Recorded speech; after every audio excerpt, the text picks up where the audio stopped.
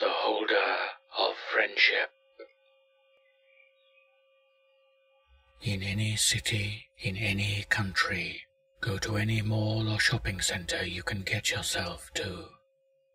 You must ask to visit someone who calls himself the holder of friendship. The worker will stand and greet you as if they had known you all their life and hand you a piece of paper. You must then turn around in a 180 degree turn, and regardless of what was behind you when you came in, you will find a featureless white wall with a single open elevator. Enter the elevator and it will start rising, and then read the paper. The elevator will instantly stop. You will then be in a long beige corridor with a single door at the end. As you walk along the corridor, every insult you could ever imagine will be heard over and over again, growing into a cacophony of voices completely indiscernible. Suddenly, the voices will all stop and silence will fall. A single voice will say, I should not be here. Why did you come? You must instantly kneel and say clearly, I will not leave you.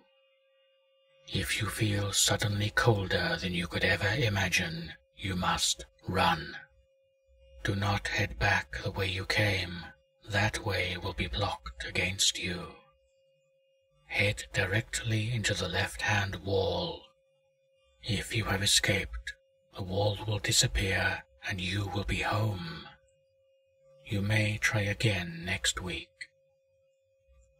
If a voice says repeatedly, You stand alone, you may continue.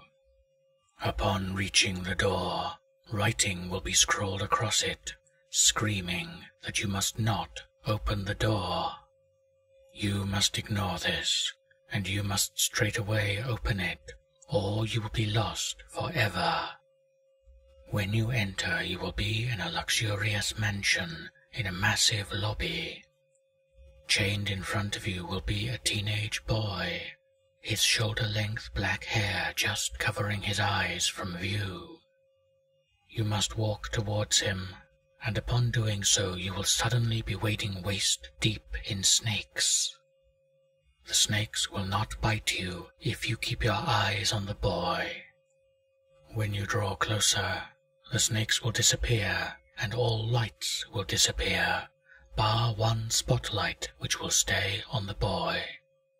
All manner of things will reach for you and try to drag you into the darkness.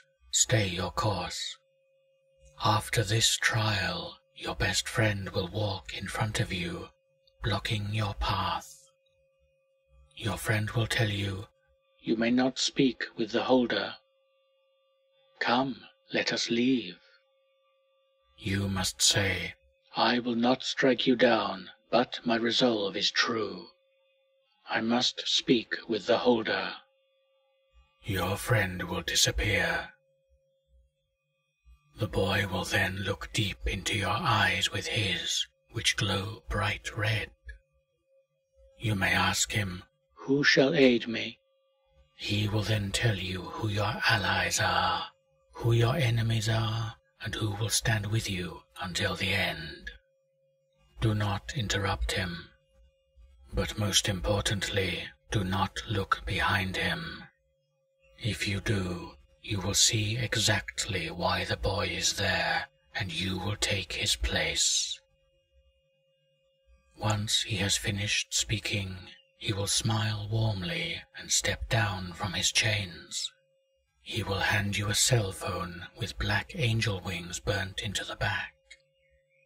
He will then follow you for the rest of your life, but will protect you from death once and only once. This is Object 229 of 538. Whatever you do, he will be by your side.